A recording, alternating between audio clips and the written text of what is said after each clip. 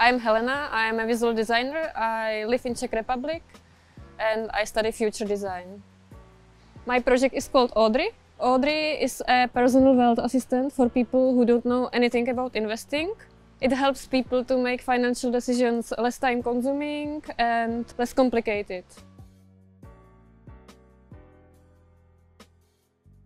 Because I work as a designer in a finance uh, company, uh, I noticed by the time that there is a gap between finance professionals and usual people who don't know anything about investing.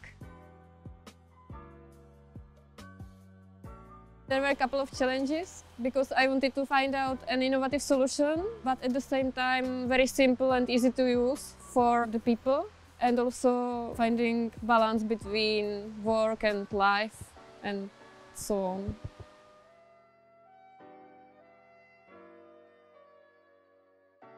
I'm looking forward uh, if you can join even the virtual uh, exhibition because there will be a lot of interesting ideas so I'm looking forward to that.